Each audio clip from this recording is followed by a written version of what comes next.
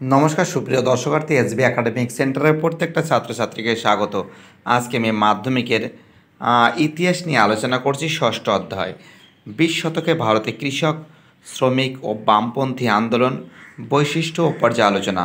তো দেখো, এই ষষ্ঠ অধ্যায় থেকে যে সমস্ত এমসিকিউবগুলো আছে, সেগুলো টু দ্য পয়েন্ট আমি সলভ করে দেবো। এটা আমাদের রায় মার্টিন প্রশ্ন বিচিত্রা দু হাজার চব্বিশ সালের বই আছে। এক দাগের প্রশ্ন, মুম্বাই মিলস অ্যাসোসিয়েশন প্রতিষ্ঠা করেন অ্যান্সার হবে কয়ার অ্যান্সার নারায়ণ লোখান্ডে। নারায়ণ লোখান্ডে। দুদাগের প্রশ্ন, গান্ধীজি কৃষকদের নিয়ে প্রথম কোন আন্দোলন শুরু করেন? ঘয়ের অ্যান্সার হবে চম্পারণ সত্যাগ্রহ। তিন দাগের প্রশ্ন, লালা লাজপত রায় প্রথম সভাপতি ছিলেন। অ্যান্সার হবে গয়ের answer Nikhil Bharat trade union কংগ্রেসের। চার দাগের প্রশ্ন, লাঙল পত্রিকা কোন সংস্থার মুখপাত্র ছিল? গয়ের অ্যান্সার হবে বাংলার শ্রমিক কৃষক দলের পাঁচ দাগের প্রশ্ন, তেভাগা আন্দোলন সংগঠিত হয়েছিল ঘয়ের অ্যান্সার হবে বাংলা প্রদেশে। ছয় দাগের প্রশ্ন, Sara Bharat workers and peasants পার্টির সাধারণ সম্পাদক ছিলেন, ঘয়ের অ্যান্সার হবে আর এস নিম্বকার। সাত দাগের প্রশ্ন, সর্বভারতীয় কিষাণ সভা প্রতিষ্ঠিত হয় অ্যান্সার হবে ঘয়ের অ্যান্সার লখনৌতে। আট দাগের প্রশ্ন, খোদাই খিদমতগার তৈরি করেন অ্যান্সার হবে ঘয়ের অ্যান্সার খান আব্দুল গফর খান। নয় দাগের প্রশ্ন। নিজ খামারে ধান তোলো।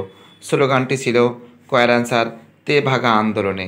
দশ দাগের প্রশ্ন এআইটিউসি এর প্রথম সম্পাদক হলেন? অ্যান্সার হবে, কয়ার অ্যান্সার দেওয়ান দেওয়ান চমন লাল এগারো দাগের প্রশ্ন, একা আন্দোলন ঘটেছিল?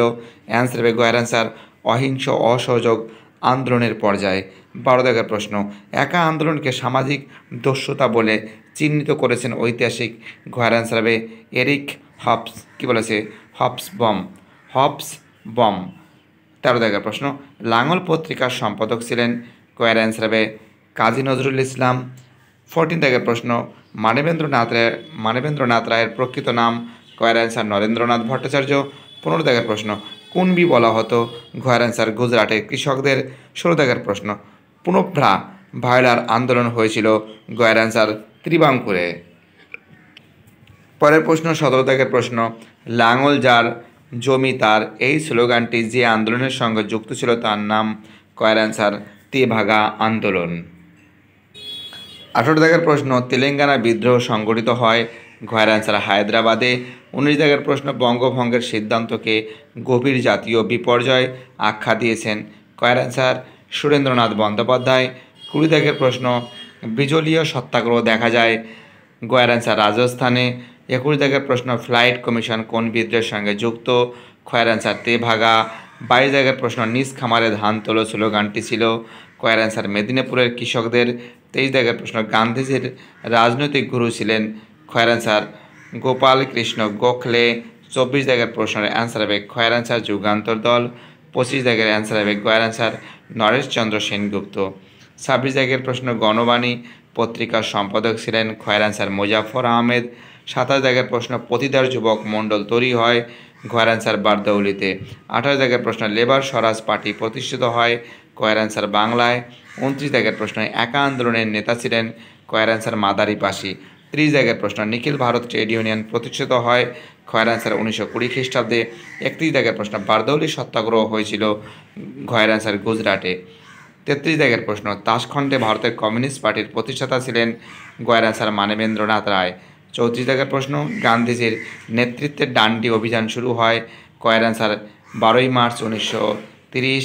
পঁয়ত্রিশ দাগের প্রশ্ন, বয়কট আন্দোলনের ফলে অর্থনৈতিক দিক থেকে ক্ষতিগ্রস্ত হয়েছিল খয়ের অ্যান্সার মধ্যবিত্ত শ্রেণি। ছত্রিশ দাগের প্রশ্ন, বাবা রামচন্দ্র কৃষক আন্দোলনের নেতৃত্ব দিয়েছিলেন খয়ের অ্যান্সার যুক্ত প্রদেশে। সাঁত্রিশ দাগের প্রশ্ন, রম্প উপজাতির বিদ্রোহ সংগঠিত হয় ঘয়ের অ্যান্সার। গোদাবরী উপত্যকায় আটত্রিশ দাগের প্রশ্ন। প্রথম বয়কট আন্দোলনের ডাক দেন কয়ের অ্যান্সার কৃষ্ণকুমার মিত্র। উনচল্লিশ দাগের প্রশ্ন, তিন কাঠিয়া প্রথা যেসব ফসলের সঙ্গে যুক্ত, সেটি হলো কয়ের অ্যান্সার নীল।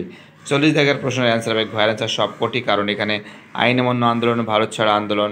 ঠিক আছে মানে এখানে বলতে বোঝানো হচ্ছে যে Roman one Roman two Roman three তিনটেই ঠিক ঘয়ের অ্যান্সার হবে।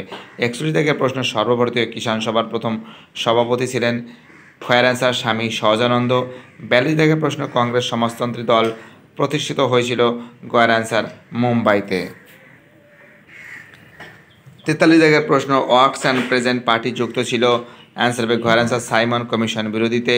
চল্লিশ জায়গার প্রশ্ন, কানপুরে ভারতের কমিউনিস্ট পার্টি জন্ম হয় গয়ের অ্যান্সার উনিশশো পঁচিশ খ্রিস্টাব্দে। আমাদের পরের প্রশ্ন কি বলেছে? পঁয়ত্রিশ জায়গার প্রশ্নের অ্যান্সার হবে গয়ের অ্যান্সার জোর করে বাড়ি, বাড়তি খাজনা আদায় হ্রদের দাবিতে। ছেচল্লিশ জায়গার প্রশ্ন, ভারতের মহাত্মা গান্ধীর প্রথম সত্যাগ্রহ আন্দোলন ছিল। খয়রাচার চম্পারণ সাতচল্লিশ জায়গার প্রশ্ন, বারদলি সত্যাগ্রহ হয়েছিল খয়রাচার খাজনা হ্রাসের দাবিতে। আটচল্লিশ জায়গার প্রশ্ন, ভারতের বামপন্থী আন্দোলনের জনক ছিলেন অ্যান্সার হবে খয়রাচার মানবেন্দ্রনাথ রায় এবং অথবা অ্যান্সার হবে নরেন্দ্রনাথ ভট্টাচার্য। উনপঞ্চাশ জায়গায় গ্রিন কী বলেছে, কামগড় ইউনিয়ন নামে শ্রমিক সংগঠন গড়ে ওঠে অ্যান্সার হবে খয়ের মুম্বাইতে। খয়ের অ্যান্সার তো দেখো, রয় মার্টিন প্রশ্ন বিচিত্রা, যার পেজ নম্বর তিনশো উনচল্লিশ, তিনশো চল্লিশ। তো দেখো, পঞ্চাশ জায়গার প্রশ্ন, দেশ প্রাণ নামে পরিচিত ছিল গয়ের অ্যান্সার বীরেন্দ্রনাথ শাসমল। একান্ন জায়গার প্রশ্ন মোপলা বিদ্রোহ হয়েছিল, গয়ের অ্যান্সার মালাবার উপকূলে। বান্ন জায়গার প্রশ্ন, বিরাট ষড়যন্ত্র মামলা হয়েছিল, গয়ের অ্যান্সার শ্রমিক নেতাদের বিরুদ্ধে। তিপ্পান্ন জায়গার প্রশ্ন, ব্রিটিশ সরকার কমিউনিস্ট নেতাদের গ্রেপ্তার করলে বিরাট ষড়যন্ত্র মামলা শুরু হয়। এর উদ্দেশ্য ছিল রোমান ওয়ান রোমান টু ঠিক ঠিক আছে। মানে শ্রমিক নেতাদের বিরুদ্ধে বুঝতে পারছ? এবং এটা ছিল রোমানন, রোমান ঠিক মানে বামপন্থী আন্দোলনকে দুর্বল করে দেওয়া এবং তার সঙ্গে জাতীয়তাবাদী আন্দোলনের গতি রোধ করা। কয়ের অ্যান্সার হবে। চৌন্ন প্রশ্ন। ভারতের প্রথম ভারতের প্রথম শ্রমিক সংগঠন ছিল কয়ের answer labour union Madras labour union পঞ্চান্ন দাগের প্রশ্ন, কৃষক প্রজা পার্টি প্রতিষ্ঠা করেন। গয়ের অ্যান্সার হবে ফজলুল হক। তো দেখো, এই হলো টোটাল আমাদের পঞ্চান্নখানা এমসিকিউ প্রশ্নপত্র, যেটা রায় মার্টিন প্রশ্ন বিচিত্রার আছে, এইগুলো সলভ করলে তোমরা হান্ড্রেড পারসেন্ট এর ভিতর থেকেই তোমরা কমন পেয়ে যাবে। টোটাল পঞ্চান্নখানা এমসিকিউ সলভ করা আছে এখানে। ভিডিওটি দেখার জন্য এসবি একাডেমিক সেন্টারের তরফ থেকে প্রত্যেকটা ছাত্রছাত্রীকে জানাই অসংখ্য ধন্যবাদ। সুস্থ থাকো, ভালো থাকো, চ্যানেলের সঙ্গে যুক্ত থাকো, এটাই আমার একান্ত অনুরোধ তোমাদের কাছে। এই বলে আমি আমার ভিডিওটা আজকের দিনের মতন শেষ করছি।